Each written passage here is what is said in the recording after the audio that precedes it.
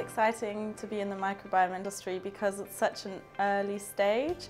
Um, so there's so much space still in the microbiome industry and there's so many like exciting ideas and projects and things that haven't been explored. I think it's still in its infancy, uh, so it's still quite early. We still need to understand a lot uh, what the microbiome actually is made of, how it reacts to changes and how we can influence the microbiome actively.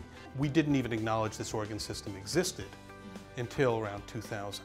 And the rate at which we are now beginning to understand it and the complexity of this is going to transform not just the way we do science. We've gone from doing pharmacology to systems biology.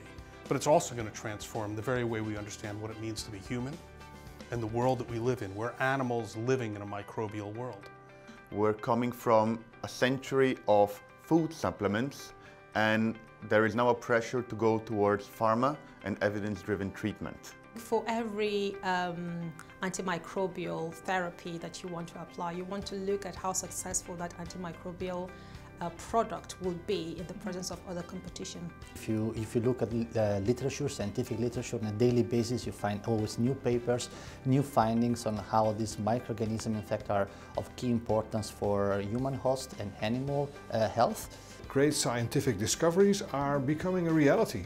People are taking new concepts into the clinic and uh, uh, doing clinical trials and soon we'll see whether some of these things will work uh, and benefit uh, consumers and patients. Well, it's an exciting time to be in the microbiome space because we're finally now right on the cusp of bringing microbiome solutions and products and drug candidates to the end stage, right, to phase three and to launch. We're right on the cusp of doing that within the next few years. And this is the time when we get those final plans together and start the final push. And so this is really the time to be in it, to win it.